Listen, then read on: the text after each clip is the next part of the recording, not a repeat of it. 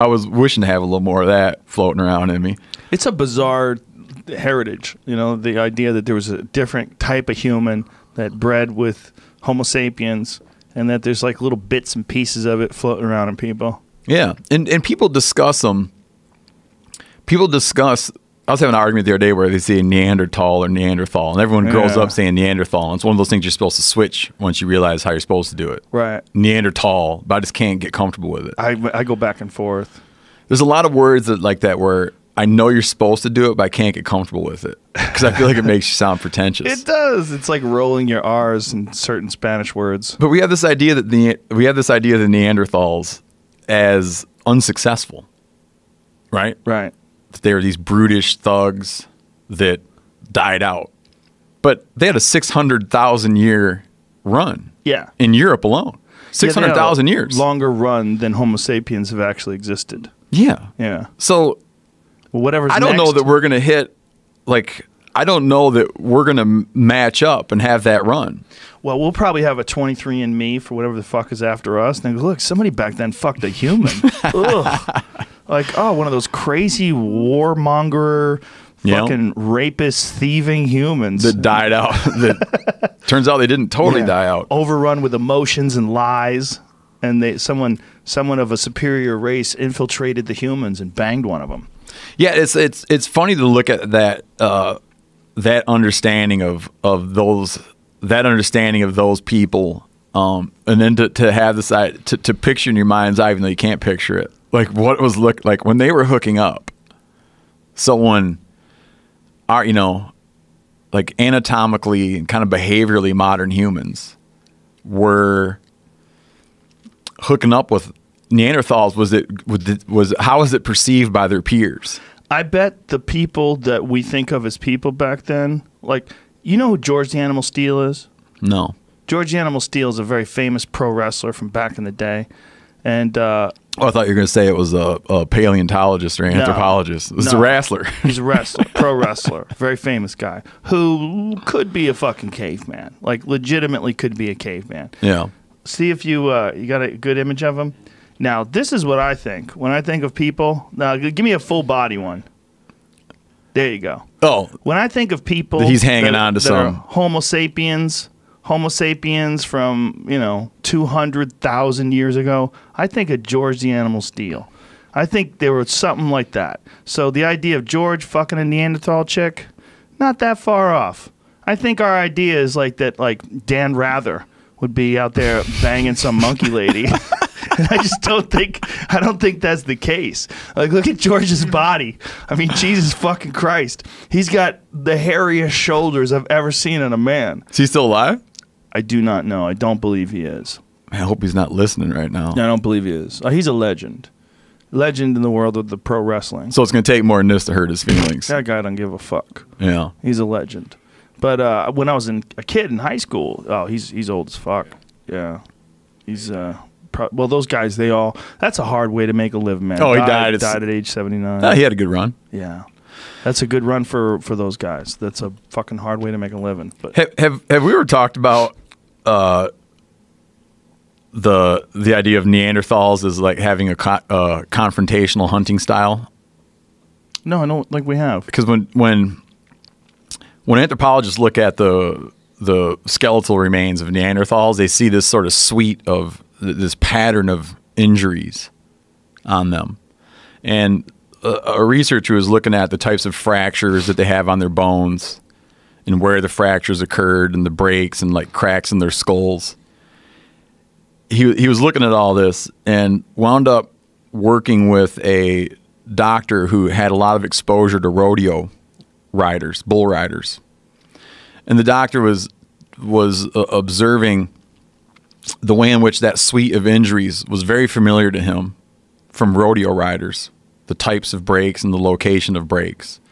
And this guy has this idea that they had a like a very confrontational hunting style, um, that they were like mixing it up with big animals. And another thing they found is that when you're looking at skeletal remains from early people, you still see that separation in the sexes, right? That, that, that the males would suffer injuries at, with a greater prevalence than females. But with the Neanderthals, it seems like they didn't have the sort of like duplicity of roles.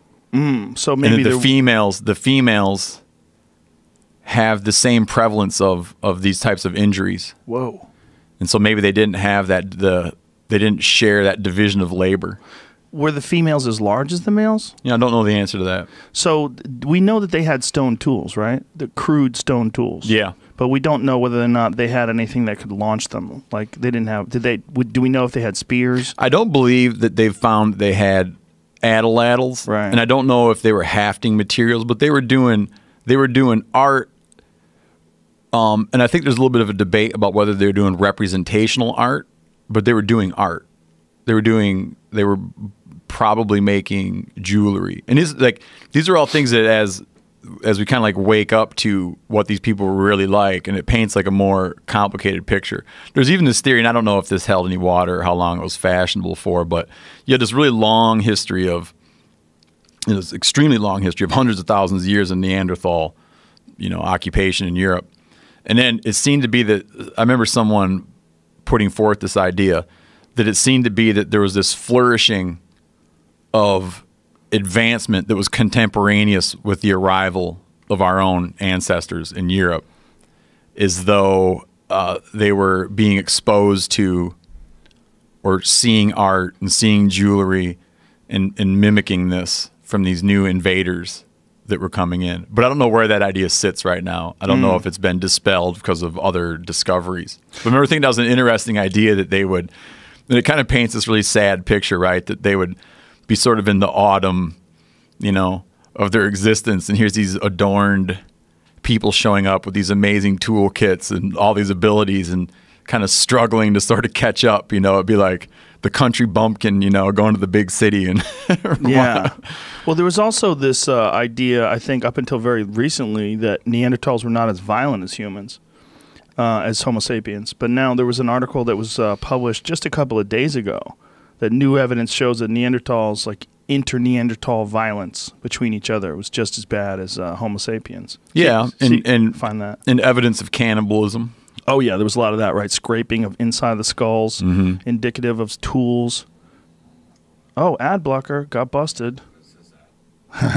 they get us every time with the fucking ad blocker. Yeah. Um, what does it say? Humans are just as violent as Neanderthals. Are you Okay. familiar with the writer John Mooallem? No. You'd like his stuff. Yeah. He wrote a really beautiful piece about he wrote a really beautiful piece about Neanderthals not long ago. Okay, I fucked it up. The, what they're saying is that modern humans were just as prone to violence as Neanderthals. I don't have a problem I, that. I think I'm, I'm I'm conflating this with something else that I read about inter uh, interspecies violence, Neanderthal on Neanderthal violence. The other thing that's weird about them is they had bigger brains than us. They had bigger brains, and they would be like five seven and weigh two hundred pounds, just jacked, just a little gorilla thing, you know. It'd be great to see it. There was a really dumb theory that was being bounced around a few years ago. It was really hilarious about how uh, we wiped out, we uh, assumed that Neanderthals, because we don't have any soft tissue samples, we assumed that Neanderthals looked similar to humans.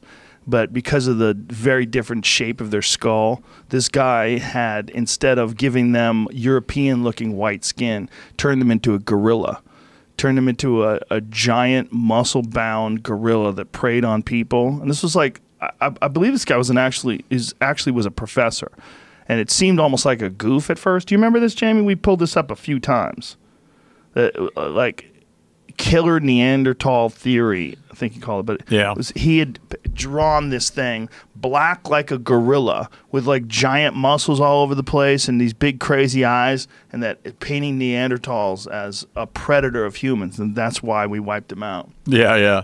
The, the, the, my my limitations as, uh, see, I was, was gonna say my limitations as an as an anthropologist, but I'm certainly not an anthropologist at all. I'm just a dude who's interested in it. But one of my limitations is I'll hear theories floated, okay, and I don't follow them long enough to see which ones have any traction. Right. I'll just read about them, and and I don't I don't take it as gospel, but I'll read about it, and I'll be like, that's interesting, and it'll sort of like shape my understanding of it. But then I don't keep track of it. Like I, I try to really follow the story of like the peopling of the Americas. So when it comes to to the human history of the Western Hemisphere, I sort of follow and like ideas will get floated and I'll track the idea to see where it lands in terms of scholarly consensus. But on other stuff like with, with Neanderthals, I'm always a sucker for a Neanderthal story, but I don't track what ideas that float up are just very quickly denounced as being complete rubbish. Hmm. Yeah, it's a weird one. You know, it's a, it, it's it, it takes time to There it, it takes is. time to follow this stuff. Go go to that other picture. That's what it is. Them book. them and, and us. Yeah, but look at some of his, some of his images. Look at that image that he has on the cover of the book. Like those are the idea. But Yeah. there's some way better ones. There's some way better images look what they that. drew of uh, full body ones. They had. Uh, d- is it in the article? This was a link to the Just- actual website from a different article. Just go just- go to that and then go to images, because uh, there was some really bizarre fucking. Yeah, there it is, upper left hand corner. This is what this guy. Yeah, well, that thing, whatever he's got like. going on, that thing is not making art. You don't think so? No, he's making meat, man. Come on. Yeah, yeah, it's pretty preposterous. But Neanderthals didn't have fangs like that No. either, did they? No. What is that? Is he morphing a Neanderthal into a gorilla? That's is that what he's trying to do? down here. And Oh, like- that's a how. Oh, I got okay, you. I monkey, got you. gorilla, Neanderthal. But yeah, but like how it's got its snarling with its fucking vegetable eating teeth. Anyway. It's it's uh and then there's the do we even know what those Denovians how do you say that word the one from Russia? Yeah. They, they don't have any idea what they looked like, right? No, I don't Just have like some so. pinky bones and shit. Know, uh, yeah, that that one's not that one. I don't know.